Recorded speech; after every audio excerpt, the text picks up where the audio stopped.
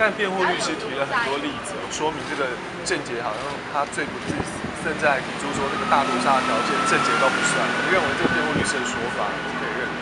当然家属没有办法认同。那其实律师他有他的立场，但是我们家属当然就像我刚刚讲的，不管是杀一个人也是杀，杀两个人也是杀。那不管他是一时冲动还是怎样，还是他不成熟，但是家属要承受的东西不是律师可以了解到的。对。